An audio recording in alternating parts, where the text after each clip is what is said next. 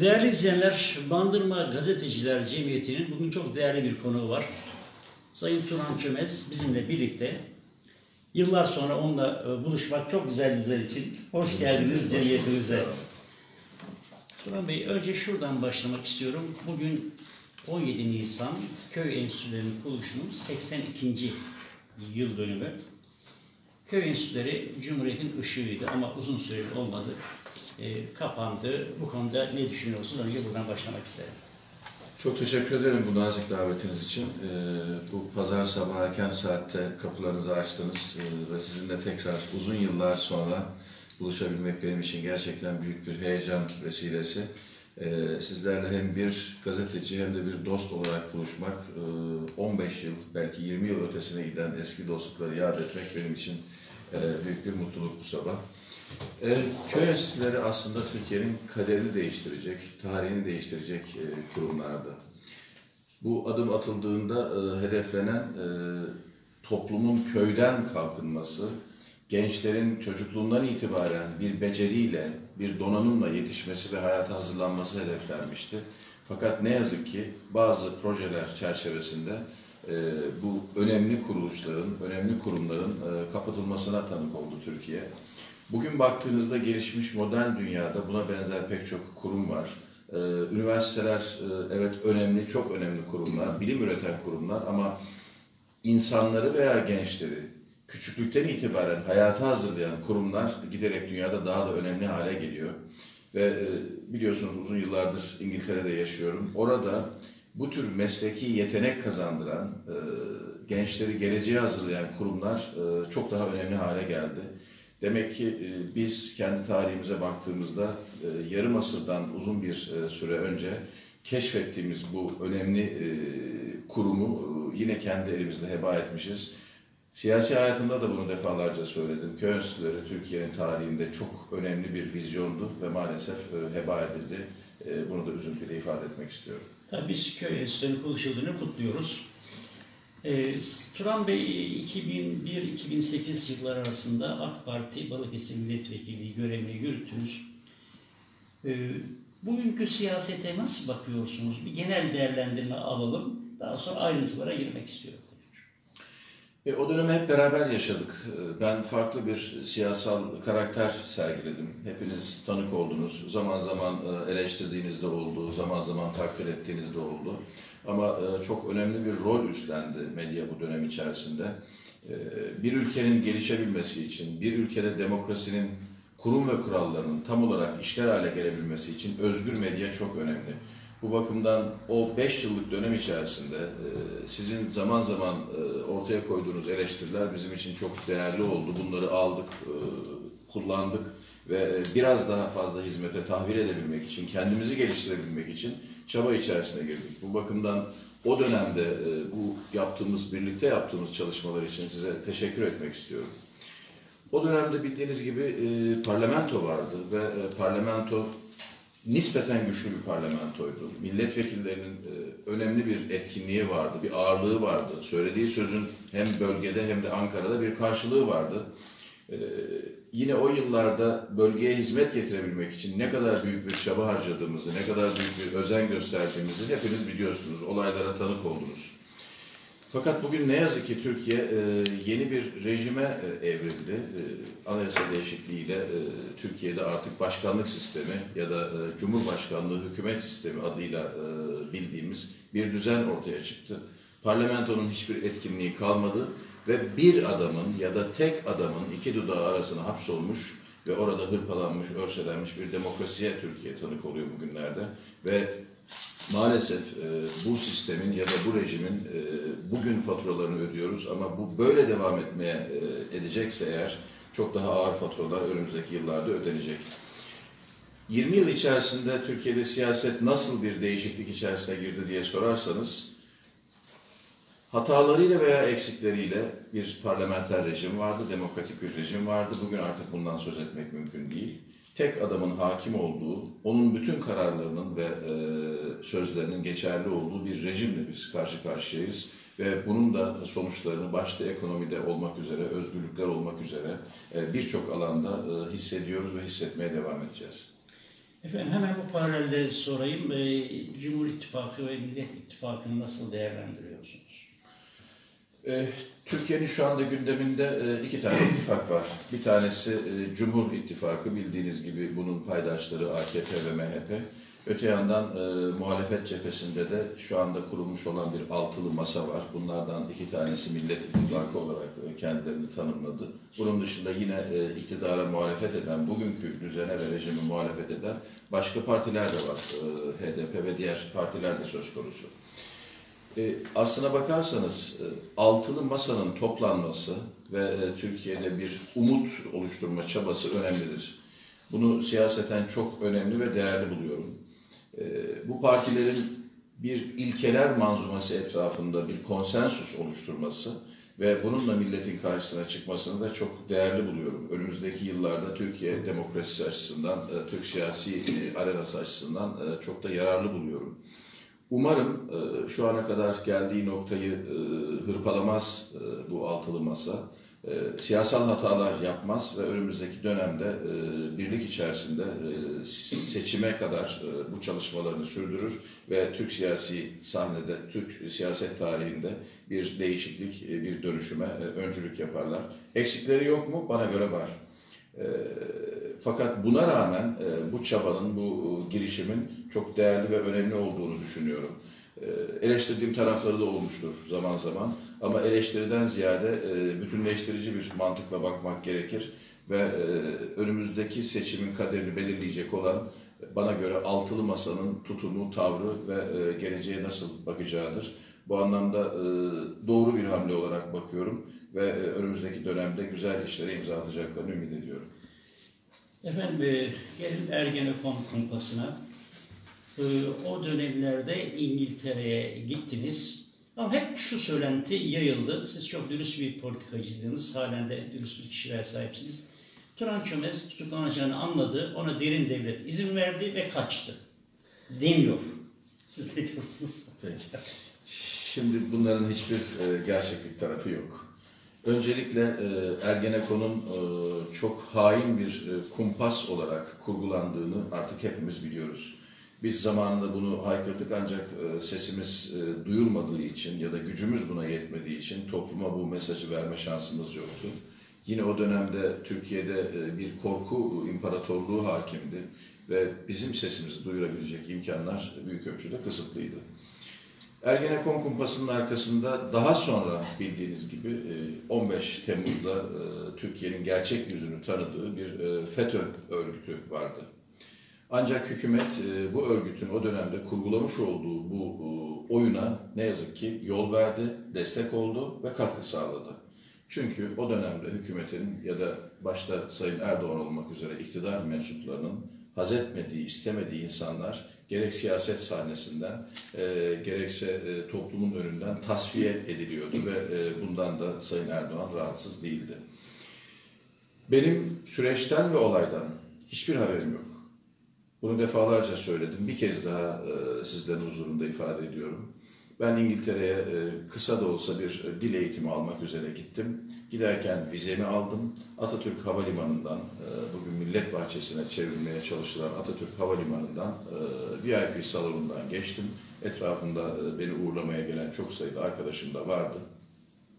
Ve e, uçağa bindiğim zaman da uçağın kaptanı ismimden tanıdığı için beni e, uçağın kokpitine davet etti ve o şekilde İngiltere'ye gittim.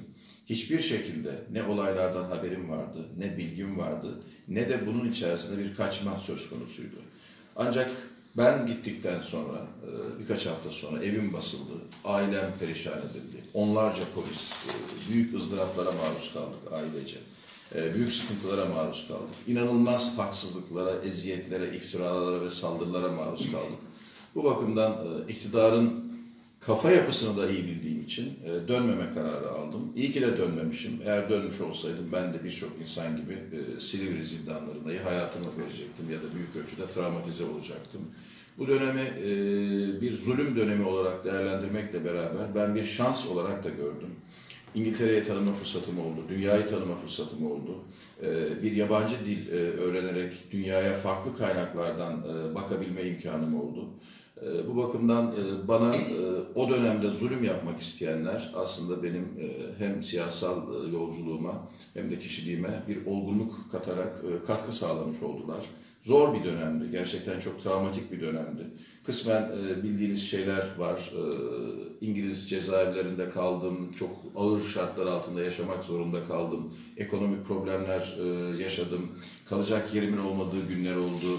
Sokak temizlediğim günler oldu. Tren gişelerinde bilet satarak hayata tutunmak e, zorunda kaldığım günler oldu. Ama her şeyden önemlisi haklılığıma, dürüstlüğüme, doğruluğuma olan inancım beni hayata yeniden bağladı ve e, inançlı ve kararlı bir şekilde yoluma devam ettim.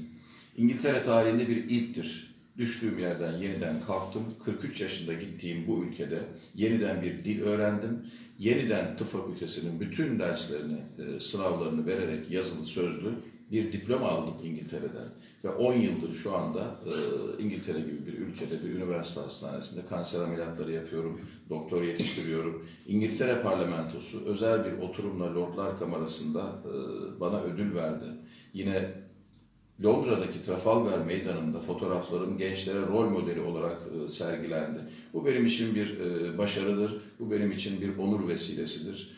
Ha bu zulüm oldu. Siz e, siyasette işinizde benden çok daha eski olanlar var. Siyaseti e, çok daha uzun yıllardır izleyenler var. E, bu ülkeye hizmet etmenin bir bedeli vardır. E, bu bedeli şe- şerefle, e, onurla taşımaya hazırdım yola çıkarken de. Bugün de e, yaptıklarımdan dolayı asla pişman değilim. İyi ki de o dönemde milletvekili olmuşum. İyi ki de o dönemde milletime, bölgeme, insanlarıma samimiyetle hizmet etmişim. İyi ki de inandığım gerçeklerin peşinden koşmuşum. Asla pişman değilim.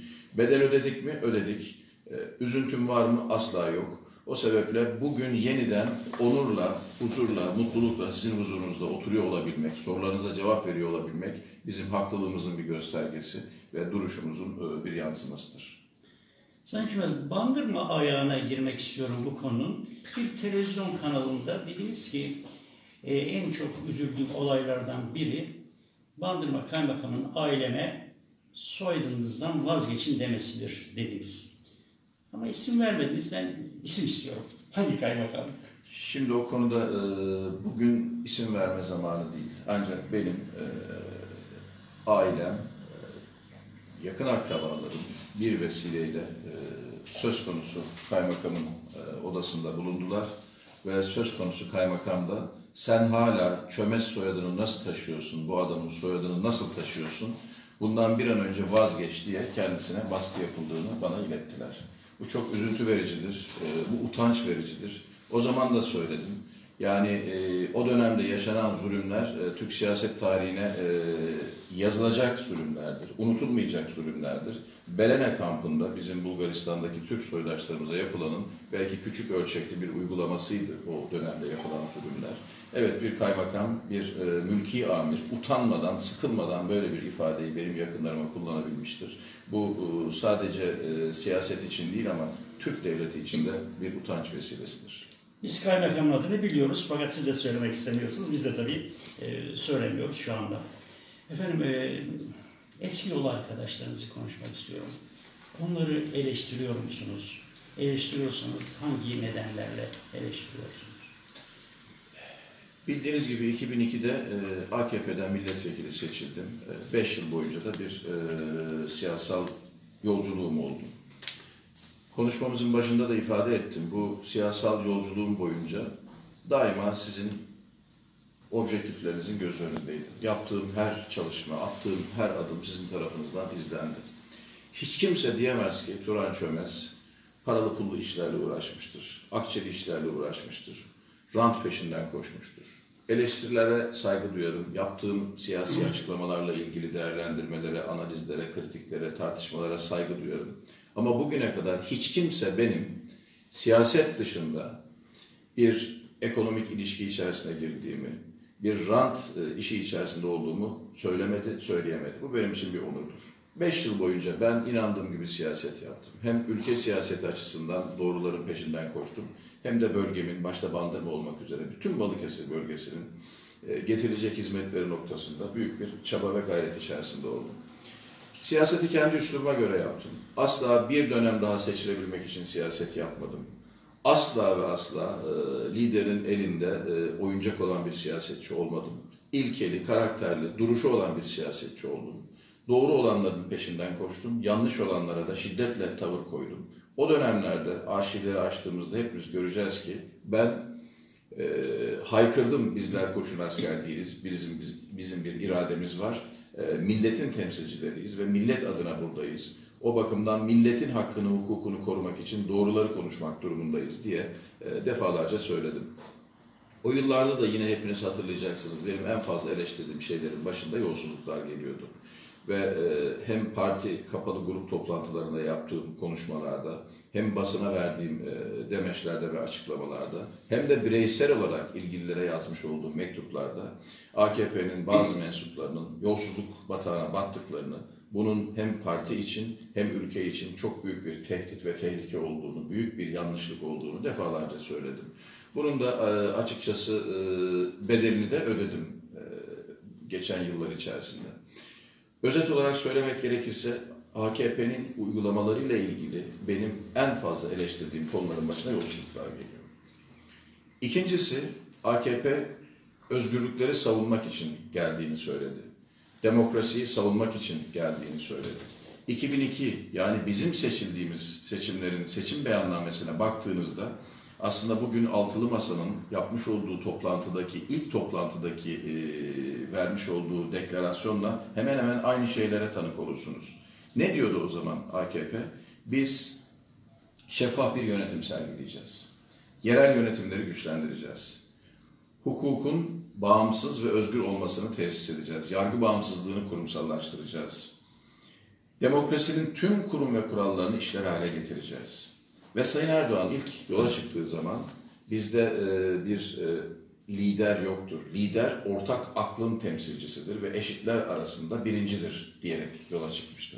Ancak gelinen noktada gördük ki eşitler arasında birinci falan yok, ortak aklın temsilcisi falan yok ve son dönemde 20. yılın sonunda tek adamın bütün kurumlara ve sisteme hakim olduğu bir rejim ve bir düzen ortaya çıktı. AKP'nin vizyonu batıydı.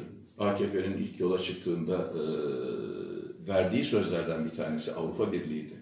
Öte yandan e, toplumdaki bütün seslere, bütün görüşlere, bütün düşüncelere e, destek olacağı, katkı sağlayacağı ve bunları dinleyeceği yönünde bir vizyonu vardı, bir vaadi vardı. Bugün artık insanlar konuşamaz hale geldiler.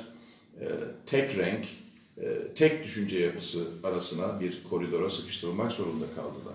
Ve Türkiye geçen zaman içerisinde bir e, korku imparatorluğuna dönüştü.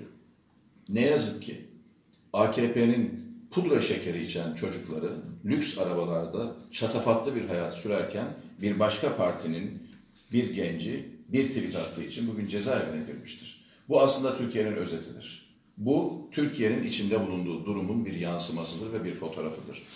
AKP özgürlükler vaat ederek geldi, toplumun özgürlüklerini büyük ölçüde kısıtladı. AKP demokrasi kültürünü kurumsallaştıracağım diye geldi. Bugün tek adam rejimiyle demokrasiden ve demokrasinin, olgun demokrasinin kurum ve kurallarından bahsedemez hale geldik. AKP 3Y ile mücadele edeceğim dedi. Yolsuzluklarla, yoksullukla ve yasaklarla mücadele edeceğim dedi. Türkiye ne yazık ki yolsuzluk batağına batmış durumda. Yasakların önü arkası kesilmiyor ve e, yoksulluk noktasında da siz bölgede yaşananları görüyorsunuz. Ekmek kuyruklarını görüyorsunuz. Ucuz e, akaryakıt kuyruklarını görüyorsunuz veya ucuz ayçiçek yağı alabilmek için insanların e, ne kadar e, sıkıntı çektiğini görüyorsunuz. Özellikle akşam saat 5'ten sonra çarşıya pazara gittiğinizde pazar yerlerinde insanların bir parça daha ucuz meyve se- sebze alabilmek için çaba harcadığını görüyorsunuz. İnsanların et tüketimi düşmüş, süt tüketimi düşmüş, protein alımı azalmış. Annelerin akşamları çocuklarını yatağa aç götürmek zorunda kalan bir Türkiye tablosuyla karşı karşıyayız. Şurada dibimizde Çanakkale Köprüsü yapıldı. Hepiniz tanık oldunuz. Hiç kimsenin köprüye itirazı yok. Köprü güzeldir. Köprü bizi e, Anadolu ile Avrupa'yı birleştirecek, Türkiye'yi Avrupa'ya ulaştıracak önemli bir aygıttır. Fakat neden bu köprüyü yaparken Beşli Çete'nin mensuplarına bu kadar milyarlarca e, doları veya euroyu boca etmek durumunda kaldınız? Dünyanın hiçbir yerinde böyle bir örnek yok. Dünyanın hiçbir devletinde böyle bir uygulama söz konusu değil. Söz konusu inşaat firması cebinden bir tek kuruş para çıkmadan gitmiş bir finans kuruluşuna bana bu köprüyü yapacak parayı verir misin demiştir. Finans kuruluşu da peki veririm ama git devletinden bana garanti getir demiştir. Firma gelmiş Türk devletinden bir garanti almıştır. Yani hiçbir para koymadan devlet tarafından bir taahhüt almıştır. Öte yandan yine finansı verecek olan kuruluş demiştir ki ben seni Türk mahkemelerini tanımıyorum. Ben Londra mahkemelerini tanıyacağım. Bununla ilgili de bana bir taahhüt getir. O da verilmiştir finans kuruluşuna. Ve söz konusu köprüyü yapacak olan firma cebinden bir tek kuruş, bir tek pound, bir tek euro, bir tek dolar çıkmadan bu köprüyü yapacak krediyi yurt dışından almıştır. İddialar muhtelif. 1 milyar 250, 1,5 milyar euro civarında olduğunu söyleniyor. Fakat 10 küsür yıl geçiş garantisi verildiğinde bu firmanın cebine girecek olan para en az 3 milyar euro. Yani 1,5 milyar euro civarında bir para cebinden bir tek kuruş çıkmamış bir firmanın cebine boca edilmiştir. Şimdi tekrar işin başına dönelim. Yıl 2002. O dönemde AKP iktidarının tarım çiftçisine, tarım köylüsüne ödemiş olduğu e, destek, sübvansiyon 4,5 milyar dolardır. Bugün geldiğimiz noktada ödenen sübvansiyon veya destek 2 milyar dolardır. Bir köprüye ayrılan rant, oradaki iş adamının cebine boca edilen para, bütün Türkiye'deki çiftçilerin cebinden alınmış paradır. AKP iktidara ilk geldiği zaman 3 milyon 100 bin olan çiftçi sayısı bugün 2 milyon 100 bine düşmüştür. Çünkü çiftçi artık ekemez dikemez hale gelmiştir. Çiftçi artık tarlasını tapasını terk etmek zorunda kalmıştır. Tekrar sorunuzun başına dönecek olursak, yolsuzluk bu ülkenin başının belasıdır. AKP yolsuzluklarla mücadele edeceğim diye yola çıkmış ve yolsuzluk batağına boğulmuş bir partidir. Yoksullukla mücadele edeceğim diye yola çıkmıştır. İlk geldiği gün Türkiye'nin atmosferi ortadadır. Bugün gelinen atmosfer ortadadır. Ülkenin elinde ne var ne yoksa satılmıştır. Ülkenin bütün sermayesi çarçur edilmiştir. 500 milyar dolar civarında iç dış borç yapılmıştır. Türkiye'nin geleceği ipotek altına alınmıştır bu projelerle. Yap işlet devlet ve devlet ve devlet garantili projelerle de Türkiye'nin geleceği e, ipotek altına alınmış ve millet fakr zaruret içerisinde e, bırakılmıştır. Bu bakımdan AKP yola çıktığında söyledikleriyle bugün geldiği nokta itibariyle yaptıkları arasında büyük bir fark ve büyük bir uçurum yaşatmıştır Türkiye'ye. Bu bakımdan önümüzdeki seçimler son derece önemlidir. Önümüzdeki dönemde e, yapılacak olan seçimler bana göre iktidarla muhalefet arasında olmayacaktır. AKP ile altılı masa veya AKP-MHP ittifakı ve altılı masa arasında olmayacaktır. Önümüzdeki dönem doğru ile yanlışın seçimidir. İyi ile kötünün seçimidir. Güzelle çirkinin seçimidir. Demokrasiyle despotizmin seçimidir. Ahlakla ahlaksızlığın seçimidir iyi ile kötünün seçimidir. Bu bakımdan ben buradan bir e, oy mesajı ya da politik bir mesaj vermek yerine bu ilkeyi toplumla paylaşmak istiyorum. Önümüzdeki süreç son derece önemlidir Türkiye için ve Türkiye'nin kaderini değiştirecek, tarihini değiştirecek bir seçim süreci yaşanacak önümüzdeki yıl. Burada herkese, siz medya mensuplarına, biz bilim adamlarına, siyasetçilere, topluma, esnafa, köylüye, herkese büyük sorumluluklar düşmektedir. Efendim e, gezi olaylarına gelmek istiyorum. Şu anda e, Osman Kavala 4 yıldır tutuklu. Gezi olaylarına nasıl bakıyorsunuz? Osman Kavala olayını nasıl değerlendiriyorsunuz? Gezi olayları aslında e, yine AKP'nin e, tutumunu ve davranışını ve e, iki yüzlü karakterini gösteren bir e, olaydır. Gezi bir isyan hareketi değildir. Gezi e, bir darbe de değildir. Gezi toplumun öfkesini, endişesini, kaygısını yansıttığı, sokaklara taşıdığı bir eylemdir. Burada hükümetin, tabi başta Sayın Erdoğan'ın, bu insanlar ne istiyor, bu insanlar niye sokaklarda demek yerine bunlara büyük bir baskı uygulaması kabul edilemez. Ve e, Gezi aslında Türkiye'de var olan bir ruhu e, sokağa taşımıştır. İnsanların duygularını, düşüncelerini sokağa taşımıştır. Ve hükümet bunu kendine bir darbe girişimi, kendine bir e, baş kaldırı olarak görmüş ve e, birçok insan o dönemde tutuklanmıştır. Hala yurt dışında yaşayanlar vardır. E, hala bununla ilgili e, katkı sağladığı düşünülen e, insanlardan cezaevinde olanlar vardır. Osman Kavala da bunlardan bir tanesidir. Osman Kavala yıllardır cezaevindedir. Ve bununla ilgili beraat veyahut da tahliye kararı verilmesinin ardından başka bir gerekçe öne sürülerek tekrar cezaevinde tutulmuştur. Bu bir anlamda sürecin hukuki değil, duygusal yürüdüğünü ve intikam duygusuyla yürüdüğünü gösteren bir işarettir. Zaten konu Avrupa İnsan Hakları Mahkemesi'ne taşınmıştır ve Avrupa İnsan Hakları Mahkemesi de açıkça tavrını belli etmiştir. Avrupa İnsan Hakları Mahkemesi'nin kararları Türkiye için bağlayıcıdır. Çünkü biz bu mahkemeyi tanımışız ve bununla ilgili bütün e, uluslararası sözleşmeleri imza atmışız. Avrupa İnsan Hakları Mahkemesi diyor ki yaptığınız hukuksuzdur, bunları bırakmanız gerekiyor. Fakat ne yazık ki hükümet imza koyduğu anlaşmanın hakim şartlarında reddederek e, Osman Kavala'yı hala içeride tutmaya devam ediyor. Bu Türk demokrasisi adına e, üzüntü verici bir gelişmedir. Efendim bu bağlamda yargıyı nasıl değerlendiriyorsunuz Türkiye'de? Hukuk ve yargı konusu. Yine ifade edeyim yani yola çıkarken yargı bağımsızlığını e, çok önemli bir kriter olarak, e, siyasal vaat olarak e, sunan AKP bugün yargı bağımsızlığına büyük ölçüde darbe vurmuştur. Ben e, örnek vermekten ziyade kendi yaşadığım tecrübeyi paylaşayım. Yani benimle ilgili e, ortaya konmuş olan dava kumpas davası ki bu kumpas davası yargı eliyle e, yapılmış bir davadır. Tarihe geçecek bir e, davadır. Hakkımda ortaya konan yalanların, iftiraların, kurguların ve sahtekarlığın sınırı yok. Bir yargı bir ülkede bu kadar pespaye hale gelmişse, bir kumpasın tarafı olmuşsa, hatta bu kumpası kurgulayan bir aygıt olmuşsa, burada artık yargı bağımsızlığından bahsetmek mümkün değildir. Ve e, sokaktaki insana sorduğumuzda, yargı bu ülkede özür dilerim, bağımsız mı diye sorduğunuzda alınacak cevap bellidir. İnsanların yargıya güveni büyük ölçüde örselenmiştir. Müsaadenizle e, küçük bir örnek vereyim. E, benim İngiltere'de oturumumla ilgili bir teknik sorun yaşandığında e, bir süre cezaevi hayatım oldu.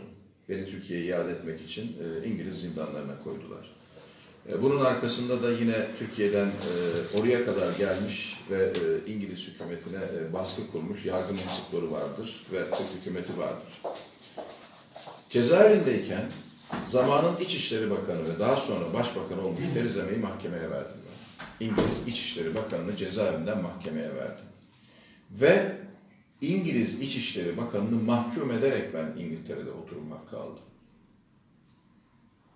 Bir ülkenin gelişmişliği sahip olduğu parayla ölçülmez. Bir ülkenin gelişmişliği sahip olduğu askeri güçle ve ordu gücüyle ölçülmez. Bir ülkenin gelişmişliği üniversite sayısıyla da ölçülmez. Bir ülkenin gelişmiş bir ülke olup olmadığına bakmak için ilk bakmanız gereken şey hukuk düzenidir. Eğer o ülkede hukuk varsa, o ülkede insanların hakları teminat altına alınmışsa, o ülkede demokrasinin bütün kurum ve kuralları işler haldeyse zaten o ülke gelişmiş bir ülkedir. Bu bakımdan Türkiye'nin hukukla ilgili, yargıyla ilgili çok ciddi bir anlayış değişikliğine, kültür değişikliğine e, ve e, reforma ihtiyacı var. Efendim e, önemli sorulardan e, birini yöneltmek istiyorum. Turan Çömez siyasete dönecek mi? İngiltere'den Türkiye'ye gelecek misiniz? Türkiye'de tekrar siyaset yapacak mısınız? Yapacaksanız hangi parti çatısı altında olabilir? Aslında bu pazar sabahı hepiniz burada toplandınız, nezaket gösterip beni de davet ettiniz ve e, sizinle şu an hem bir sohbet hem de bir basın toplantısı gerçekleştiriyoruz. Ben bir taraftan ülkeme dair duygularımı ve düşüncelerimi anlatıyorum, tecrübelerimi paylaşıyorum. Bir bakıma bu yaptığım da siyasettir. Topluma mesaj verebilmek, topluma inandığım şeyleri anlatabilmek benim için siyasettir. Ben siyaseti ışıltılı salonlarda yapılan ya da ceylan derili koltuklarda yapılan bir hizmet olarak görmüyorum. Siyaset milletle yapılır ve halkla yapılır. Bu itibarla sahip olduğum sınırlı imkanlarla, e, sosyal medyayla veya uzatılan mikrofonlarla hala düşüncelerimi, duygularımı, tecrübelerimi paylaşmaya devam ediyorum ve bundan sonra da bunları yapmaya devam edeceğim. E, siyasi olarak şu anda bir e, adımım yok. bir düşüncem de yok. Bir partiyle e, yola devam etmek gibi bir e, anlayışım da yok. Bir planım da yok. E, şartların beni zorladığı İngiltere hayatım oldu. Burada düştüğüm yerden yeniden kalktım. E, Bir düzen kurdum, bir hayat kurdum. Doktor yetiştiriyorum, Türkiye'den gelen doktorlara yardımcı oluyorum. Bir üniversite hastanesinde kanser ameliyatları yapıyorum. Özel bir hastane açtım. Burada 500 bin Türkiye hizmet vermeye gayret ediyorum. Bir düzen kurdum. Ama yüreğim burada. Aklım burada, ruhum burada, heyecanım burada. Ben bu toprakların çocuğuyum.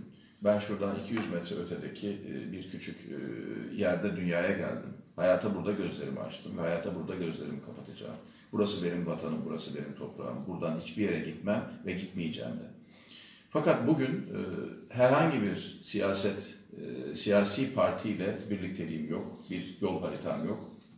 Ancak Bandırma derse ki biz seni siyasette görmek istiyoruz. Biz yeniden senin fikirlerinle, senin düşüncelerinle e, hizmet vermeni arzu ediyoruz. O günün şartlarında tekrar düşünürüm. Buna e, kapalı değilim. Fakat bugün herhangi bir siyasi partiyle bir birlikteliğim söz konusu değil. Efendim Bakan Nebati'nin İngiltere'de yaptığı açıklamaları nasıl değerlendiriyorsunuz? Şimdi AKP e, ekonomik olarak ciddi manada sıkışmış durumda ve bir para arayışı içerisinde. E, Zaten önümüzdeki sonbaharda bir erken seçim e, planı bunun üzerine yapıldı. E, Yaz döneminde gelecek olan e, turistler hesaplandı. Tarım gir- e, tarımdan elde edilecek bir takım rahatlamalar hesaplandı ve Maliye Bakanı Sayın Nebati e, başta İngiltere olmak üzere Körfez ülkeleri, Çin e, bu gibi ülkelerden e, bir para arayışı içerisine girdi. Biliyorsunuz İngiltere'ye iki kez geldi ve bu ziyaretlerden de eli boş döndü. İngiltere'deki bankerler henüz bir güven ortamının oluşmadığını, bu kadar yüksek meblağda bir kredinin Türkiye'ye verilmesinin söz konusu olmadığını söylediler. E, ne yazık ki Sayın Nebati gibi bir e, karakterin e, bugün bu kritik atmosferde e, Türk maliyesinin ve hazinesinin başında olması bir talihsizliktir. E, bu tür ifadelerle ya da komikliklerle Türkiye'nin içinde bulunduğu krizin çözülmesi mümkün değil. Sayın Nebati, eğer güçlü bir lideriniz varsa ve Allah'a güveniyorsanız korkmayın, ekonomiyi halledersiniz gibi bir açıklama yaptı geçtiğimiz günlerde.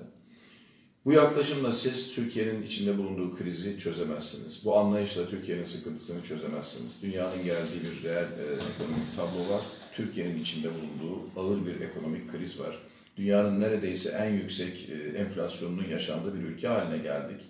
E, Her ne kadar e, TÜİK %60'lar civarında bir enflasyon e, açıklamış olsa da ENAK %140'ları varan bir enflasyondan bahsediyor. Gerçi ona da bir yasaklama gelecek önümüzdeki günlerde. Ee, Türkiye derin bir ekonomik buhranla karşı karşıya. İnsanların alım gücü büyük ölçüde düşmüş. İnsanlar geleceğe endişe içerisinde bakıyor.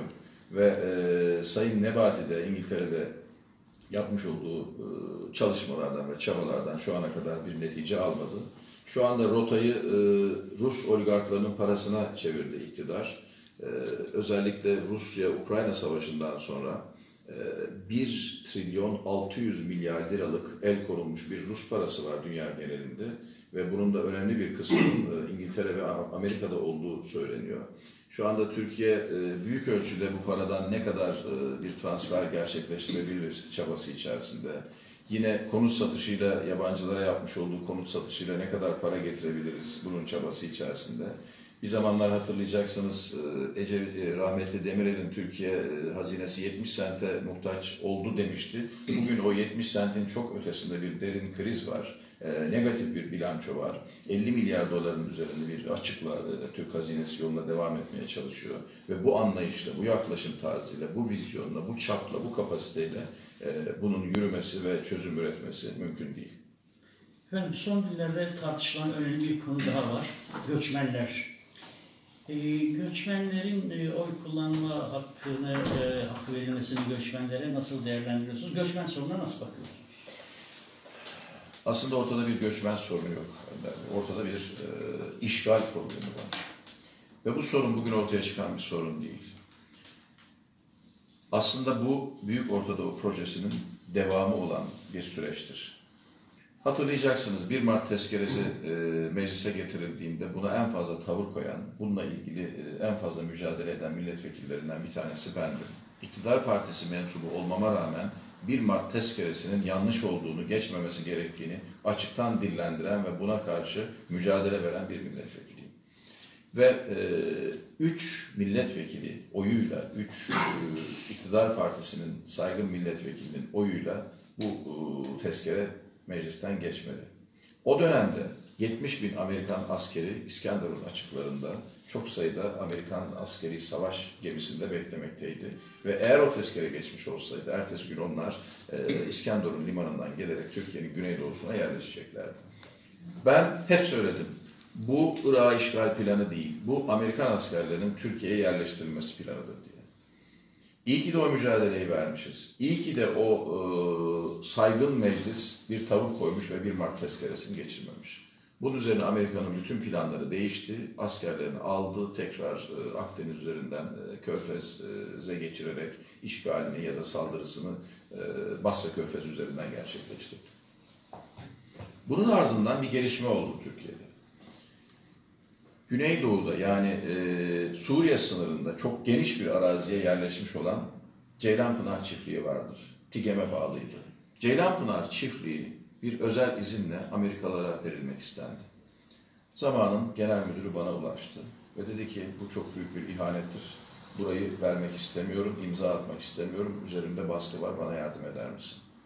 Ben de diren ve burayı Amerikalılara verme diye kendisine ricada bulundum. Ve Sayın Erdoğan o zaman onun görevden alınması için bir imza attı. Fakat o dönemde tek adam rejimi olmadığı için imzalar ikili kararnameyle geçiyordu ve bir imzanın da Sayın Sezer tarafından atılması gerekiyordu. Kalktım Sayın Sezer'e gittim. Bu ülkenin bir ulusal güvenlik meselesidir. Lütfen bu genel müdürü görevinden almayın ve burayının Amerikalılara verilmesine müsaade etmeyin dedim. Ve o dönemde TİGEM Amerikalılara verilmedi.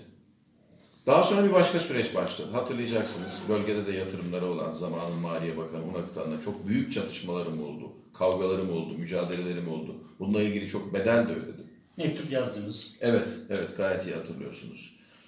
Öğrendim ki Sayın Unakıtan İsrailli firmalarla görüşüyor ve İsrailli e, firmalara Türkiye-Suriye sınırındaki mayınların temizlenmesi işini vermek istiyor. O zaman gündemde refüji yok, mülteci yok, göçmen yok, e, sığınmacı yok. Neden böyle bir şey yap, yapmak istiyorsunuz diye sorduğumda cevap vermediler, veremediler. Peki niye bunu Türk askerine vermiyorsunuz? Diyelim ki bu araziyi tarım amaçlı kullanacaksınız ve eski politikalardan vazgeçtiniz. Neden bu mayınları Türklere temizletmiyorsunuz? Bizim Türk askerinin kapasitesi yok da bu kadar küçük bir ülkenin mi kapasitesi var dediğimde buna da cevap alamadık ve çok büyük kavgalar yaşadık.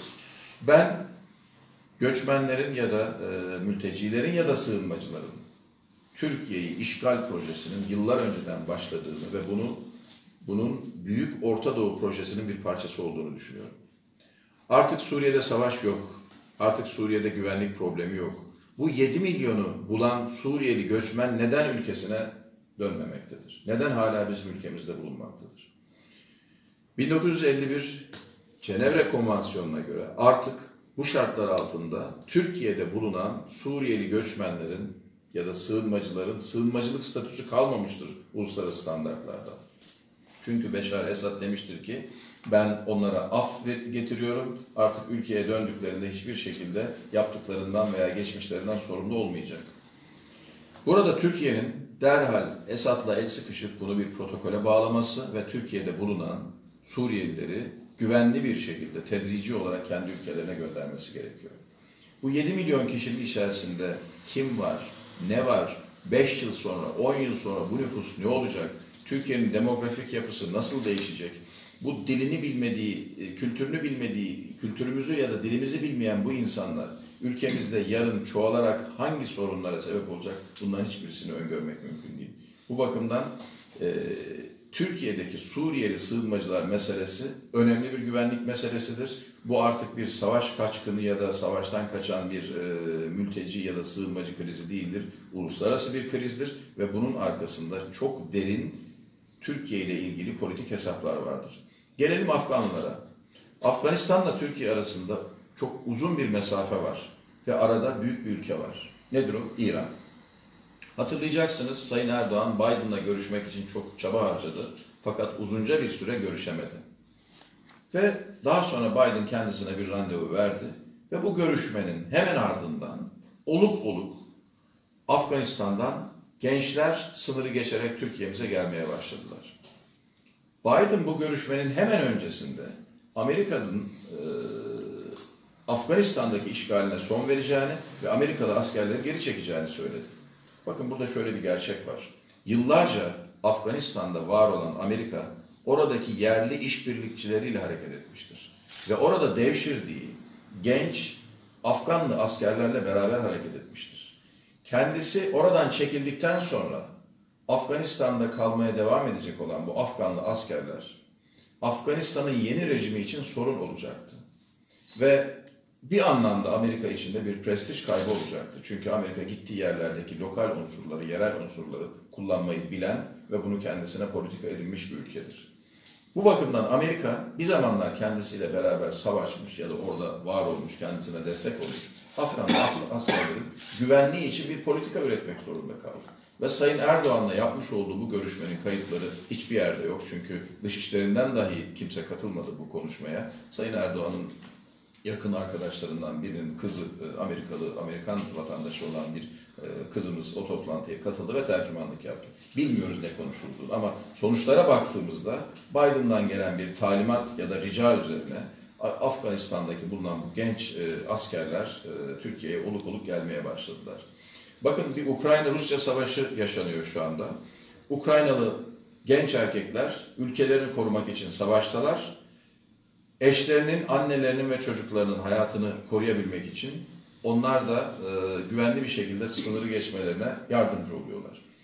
Ukrayna'daki refüji ya da mülteci kültürüne baktığımızda kadınlar, çocuklar ve yaşlılar ülkeyi terk ediyor. Suriye'ye baktığımızda herkes gelmiş, Afganistan'a baktığımızda eğitimli ve genç nüfus İran üzerinden binlerce kilometre yürüyerek Türkiye'ye gelmiş. Bu Türkiye için çok büyük bir güvenlik sorunudur. Oy konusuna sonra geleceğim. Oydan çok daha vahim, çok daha kritik, çok daha tehlikeli bir süreçtir. Ve korkarım biz 10 sene sonra buna dur demezlerse bu toplantılarda çok daha başka şeyleri konuşuyor olacağız. Bu Türkiye için çok büyük bir istikbal sorunudur. Bana eğer bugün Türkiye'de en büyük iki sorun nedir diye sorarsanız ekonomik krizdir derim, göçmen krizidir derim. Daha pek çok sorunu var Türkiye'nin ama bu iki kriz Türkiye'nin kaderini belirleyecek çok önemli iki sorundur. Bu bakımdan e, iktidardan bir ümidimiz yok çünkü iktidar e, biz ensarız dedi ve bu mantıkla bakıyoruz meseleye dedi. Mültecileri, göçmenleri göndermeyeceğiz dedi. E, muhalefetten de e, bir kısmından kuvvetli, bir kısmından zayıf sesler çıktı ve gönderilmesi konusunda bazı politikalar e, üreteceklerini söylediler. Bu da umut verici. E,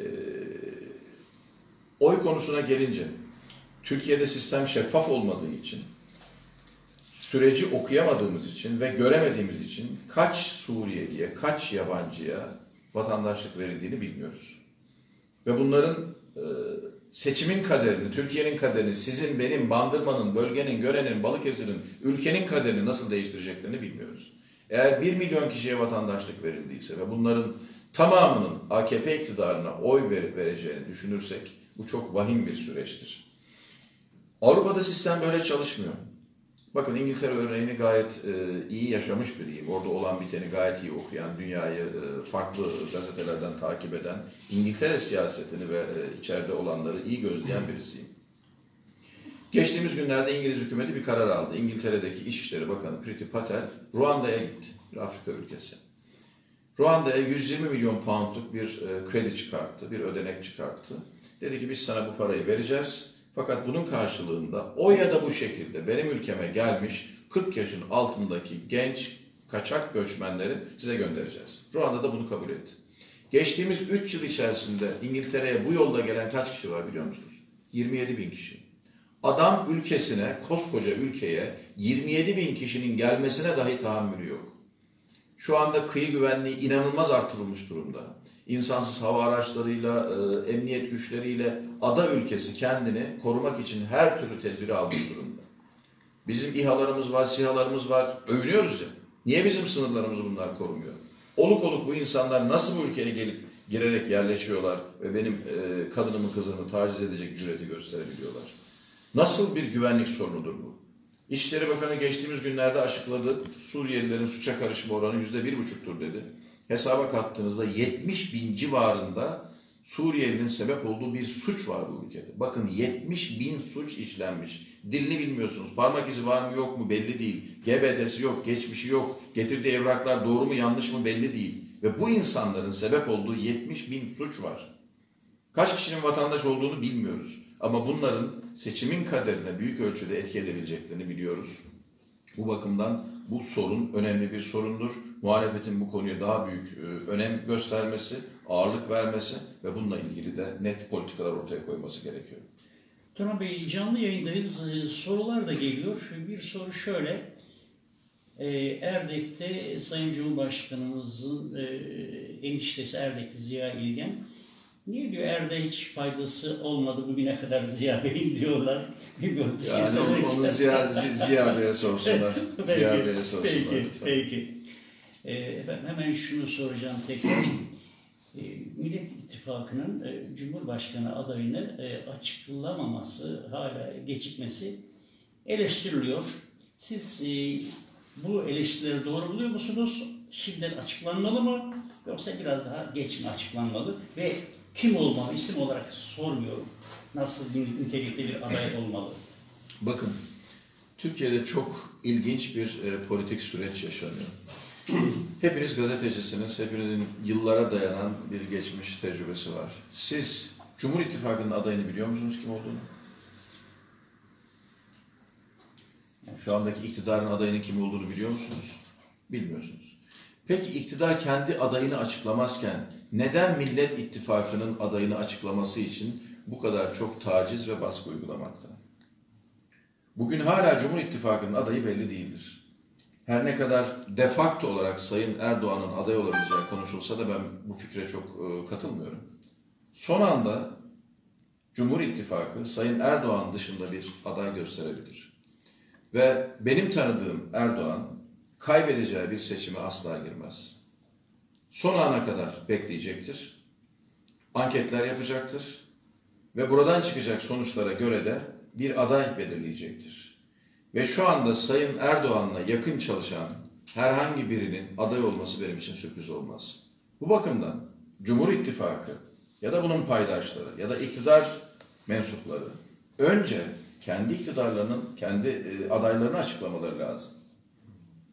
Şimdi burada ince bir hesap güdülüyor ve e, muhalefet e, sıkıştırılarak sürekli e, onların üzerine, altılı masanın üzerine baskı uygulanarak adaylara açıklanmak isteniyor. Burada da hesap şu görebildiğim kadarıyla. Erken açıklanacak bir adayın e, bir takım karalama kampanyalarıyla vesaireyle yıpratılması söz konusu. Bence Cumhur İttifakı doğru yapıyor.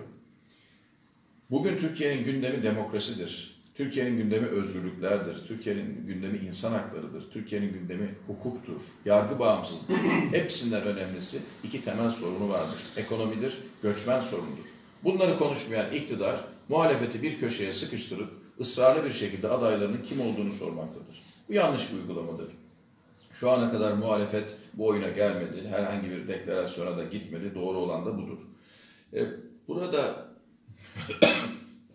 adayın kimliği konusunda fikrimi sordunuz. Müsaadenizle onu da söyleyeyim. Bir kere seçilecek olan adayın demokrat bir kimlikte olması gerekiyor.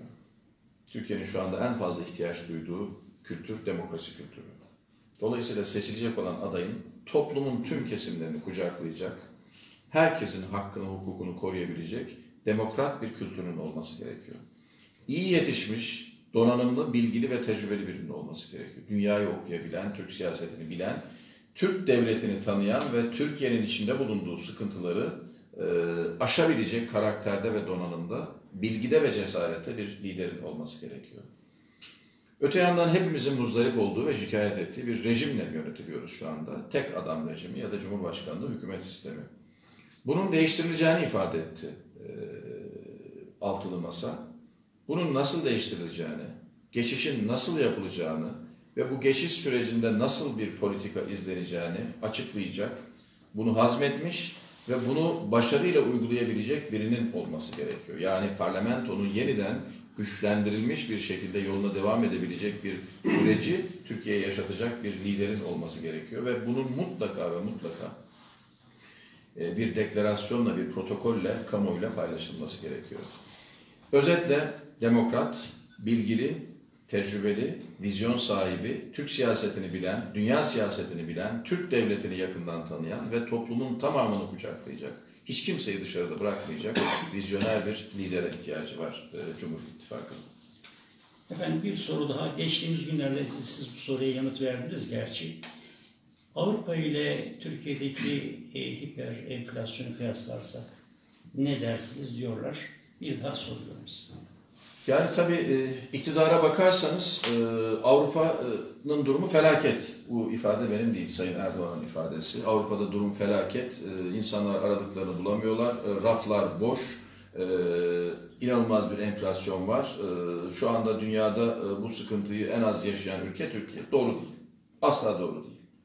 Avrupa'yı zaman zaman ziyaret gerçekleştiren ve e, İngiltere'de yaşayan bir insanım ben.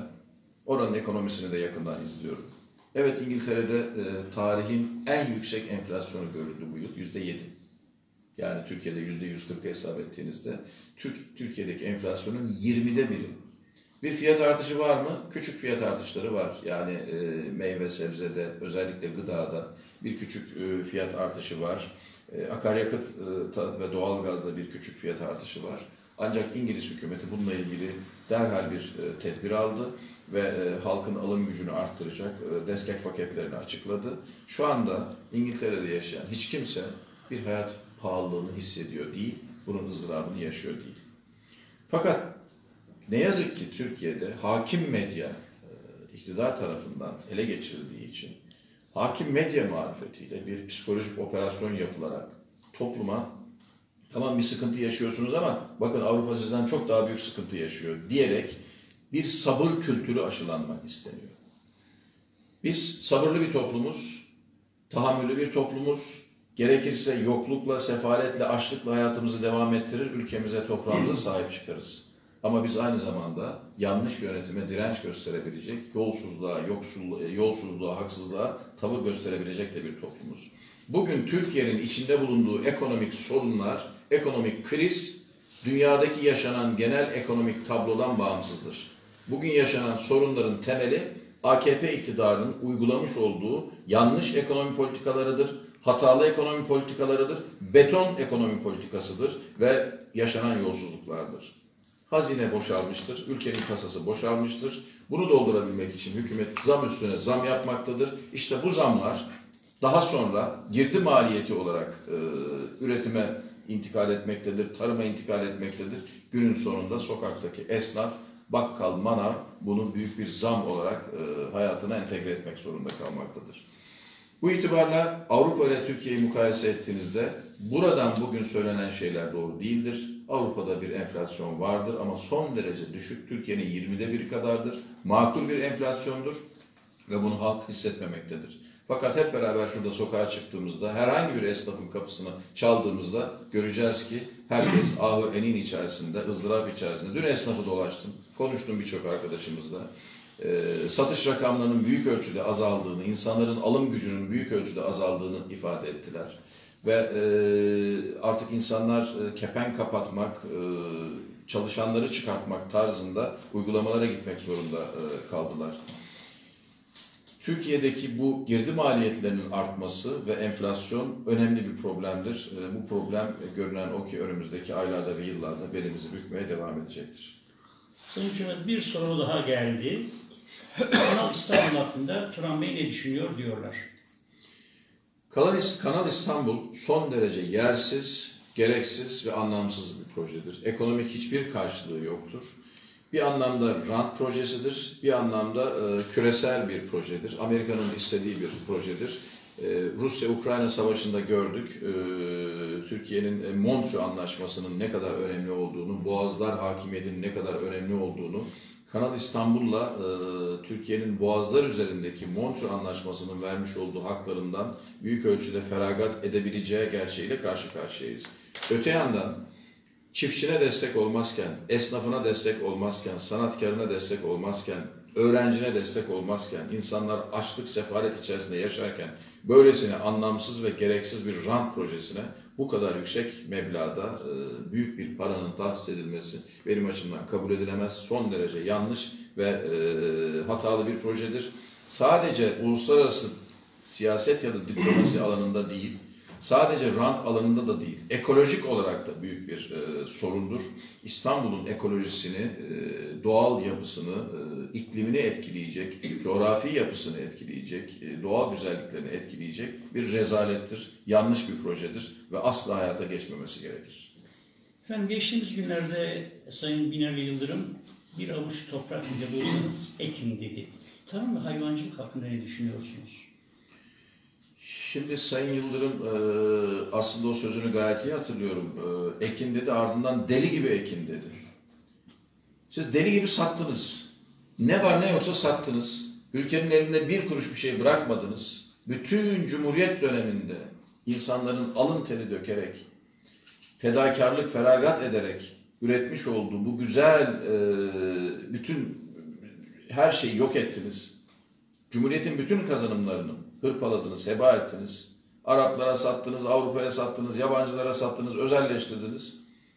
Deli gibi sattınız üstelik de. Şimdi de deli gibi ekin diyorsun. Nereye ekeceksiniz? Kalk bir sen ek bakalım bir görelim. Çocuklarını getir, Bandırma'daki e, bir araziye koy. De ki evlatlarım ekin bu arazide. Bakalım neyle karşılaşacaklar. Geçtiğimiz bir yıl içerisinde gübreye yüzde 350, 400'e yakın zam yapılmış. Geçtiğimiz bir yıl içerisinde zirai mücadele ilaçlarına yüzde 250-300'e yakın zam yapılmış. Akaryakıta, mazota, elektriğe yüzde 200'e yakın zam yapılmış. Bu girdi maliyetleriyle çift, çiftçinin mücadele etmesi mümkün mü? bütün bunlarla beraber, bütün bunlarla beraber siz çiftçi olan desteği yarı yarıya azaltmışsınız. Az önce de söyledim rakamı. 2002 yılında 4,5 milyar dolardı çiftçiye verilen e, destek. Bugün 2 milyar dolara düşmüş. Çiftçinin cebinden de desteğini almışsınız. Ondan sonra diyorsunuz ki kalkın ekin. Nasıl eksin bu vatandaş? Ben bir çiftçi çocuğuyum, köy çocuğuyum biliyorsunuz. Bu şartlar altında çiftçinin hayatını sürdürebilmesi mümkün değil. Bu girdi maliyetleriyle, bu yüksek maliyetlerle çiftçinin mesleğini idare, idame ettirmesi mümkün değil. İşte bu sebeple de 3 milyon 100 bin olan çiftçi sayısı bugün 2 milyonlara düşmüştür. Sayın Binali Yıldırım'ın bu ifadesi aslında gerçeklerden ne kadar koptuğunun, tabanda, arazide milletin yaşadığı sıkıntıdan ne kadar habersiz olduğunun bir göstergesidir. Sayın Çımez benim sorularım bunlar. Ee, gazeteci arkadaşlarımın soruları var mı acaba? Ee, benim sormayı unuttuğum, sizin eklemek istediğiniz. Her 5 yılda bir ısıtılıp getirilen bandırma bursa tren hattı var. Bu bir hayal proje mi? Gerçekleşme olasılığı var mı? Şimdi bu doğru bir proje. Fakat biliyorsunuz geçtiğimiz günlerde e, CHP Genel Başkanı Sayın Kılıçdaroğlu bununla ilgili bir yolsuzluk dosyasını açıkladı. Ve bunun da yine üzeri örtüldü. E, bu projenin yapılması lazım. Bu proje nasıl yapılır onu öngörmek mümkün değil. Fakat her seçim öncesi e, bizim halkımızın önüne konur. Bandırma ili yapacak, yapılacak denir. İşte tren yolundan bahsedilir. Birçok şeyler söylenir. Seçimden sonra oylar alındıktan sonra bunlar unutulur. Geçtiğimiz günlerde İzmir-Ankara hızlı tren yolu için İngiltere'den bir kredi bulundu. Büyük miktar bir kredi bulundu. Yani İngiliz parasıyla yapılacak bu proje. Tabii İngiliz de akıllı, boşuna vermiyor bu parayı. Ee, Hem yüksek faiz alıyor bunun karşılığında hem de elektrifikasyon sistemini de ben- benden satın alacaksın dedi. Zaten verdiği parayı da oradan geri alıyor büyük ölçüde. Fakat gene de iyi bir projedir, doğru bir projedir. Türkiye'nin artık e, ulaşımını e, karayollarından çekerek deniz yoluna ve tren yoluna taşıyabilmesi lazım. Bu çok önemli. Gelişmiş bütün ülkelerde demir yolları son derece önemlidir. Toplu taşıma maliyetleri azaltacaktır. Her şeyin maliyetini, insanların ulaşım maliyetini, e, ürünlerin nakliye maliyetini, birçok maliyeti azaltacaktır. Bandırma ile Bursa arasındaki bu hızlı e, demir yolu veya tren hattının mutlaka hayata geçmesi lazım. Ama şimdilik söylentiden ibaret. Tabii siyasetin içerisinde aktif olarak bulunmadığım için projenin ne aşamada olduğunu bilmiyorum. Ee, ama arkadaşlarım, dostlarım vasıtasıyla takip ederim, sorarım. E, dün akşam e, AKP'li bir milletvekili arkadaşımla beraberdim. Birçok şey e, konuştum kendisiyle. Keşke bundan da e, aslında hatırımda olsaydı bunu da sorardım. Ama tavsiyem bölgeden çıkmış çok sayıda milletvekili var. Bunlara lütfen sorun, takip edin. Bu proje Bandırma için güzel bir projedir. Çünkü İstanbul'dan gelecek olan bir deniz hattı var, gelen bir deniz hattı var.